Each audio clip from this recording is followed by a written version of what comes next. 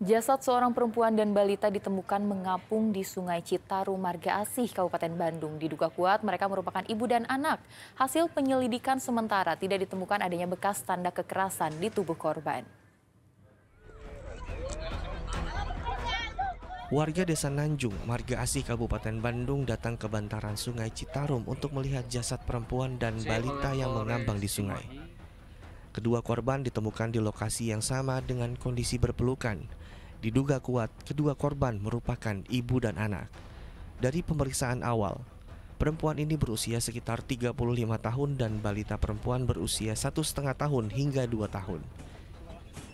Jasad kedua korban ditemukan pertama kali oleh warga yang sedang melintas.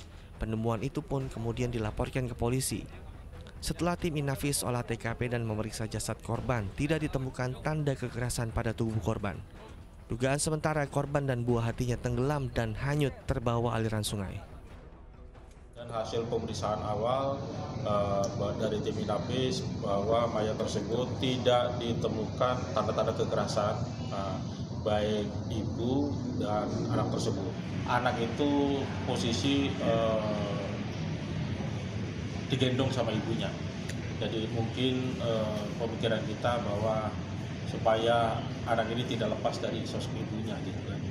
Dan ibunya sedang hamil berarti? Uh, dugaan awal itu ada uh, diindikasikan ibu hasil pemeriksaan dari Napis uh, lagi hamil muda. Jasad korban dibawa ke rumah sakit Sartika Asi Bayangkara Polri untuk diautopsi. Muhammad Abbas melaporkan dari Kabupaten Bandung.